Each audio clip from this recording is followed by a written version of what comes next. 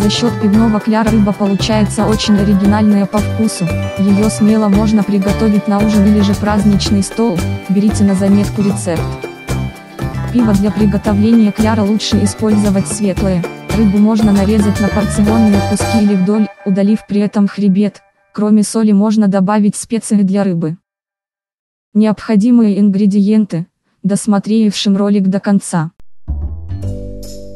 Подготовьте ингредиенты. Рыбу очистите, вымойте и нарежьте на порционные куски.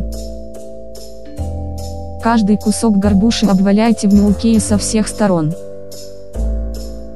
В миске взбейте яйцо, соль, пиво и 1 ложку мелкие. Подписывайтесь, комментируйте, ставьте лайк или дизлайк.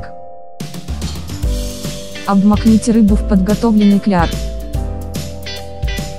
сковороде разогрейте растительное масло, выложите кусочки рыбы в кляре. Жарьте рыбу на среднем огне до красивой и хрустящей корочки с двух сторон. Горбуша в пивном кляре готова, приятного аппетита! Подписывайтесь и ставьте лайки. Как и обещали, расскажем ингредиенты.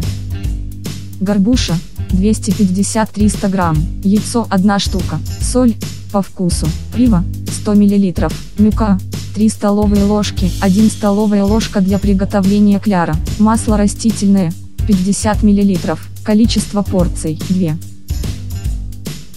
Подписывайтесь, комментируйте и ставьте лайки. Надеюсь, было интересно, приятного аппетита и следите за новыми публикациями.